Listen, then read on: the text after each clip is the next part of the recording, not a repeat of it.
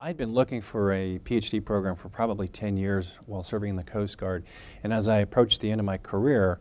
uh, nearly 27 years, I came across the Values Driven Leadership Program. And I was fascinated because my interests are right in leadership, um, organizational change and management, and corporate sustainability, especially as it focuses on people, profit, and planet because in the Coast Guard, we're all about service, protecting health, safety, and the environment. So it was a very natural fit for me.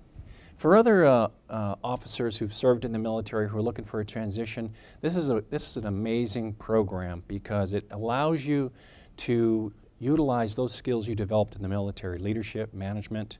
and to put them in use in a PhD program, and you can put those to use in the private sector, the public sector, nonprofit sector, and it really emphasizes service, service to others, to society, to the environment, and to individual growth.